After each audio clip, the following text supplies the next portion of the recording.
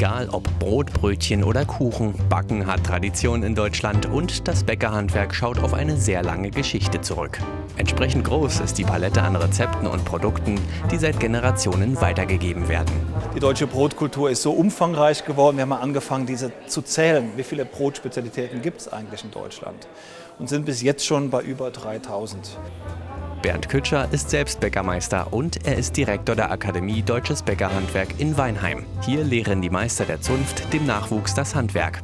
Der kommt normalerweise aus Deutschland, aber zweimal im Jahr auch aus der ganzen Welt.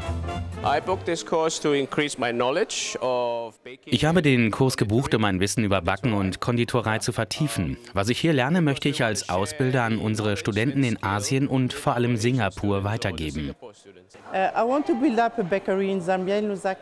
ich will eine Bäckerei in Lusaka in Sambia aufmachen. Ich möchte den Menschen deutsches Brot zeigen. Diese Art von Brot gibt es bei uns nicht.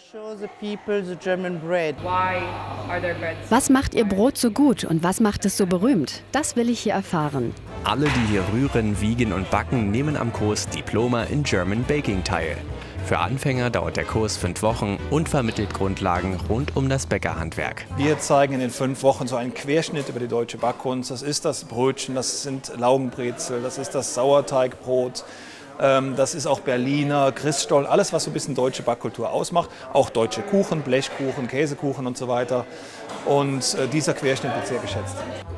Die deutschen Bäcker wollen ihr Brot zum Weltkulturerbe erklären lassen. Dass Käse, Aprikosen oder Blechkuchen samt Brötchen und Roggenbrot in der Welt bekannt werden, dafür sorgen auch die Teilnehmer mit ihrem Diploma in German Baking, wenn sie selbst zu Botschaftern einer jahrtausendalten Tradition werden.